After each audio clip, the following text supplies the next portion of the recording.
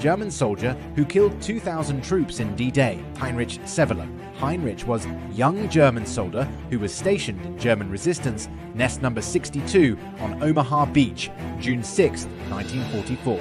D-Day landing had begun.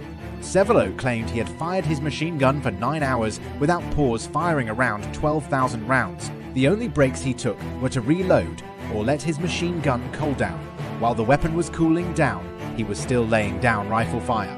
Severloh claimed he took out more than 1,000 men, but the real number is something around 2,000. After that day, he was given the nickname Beast of Omaha.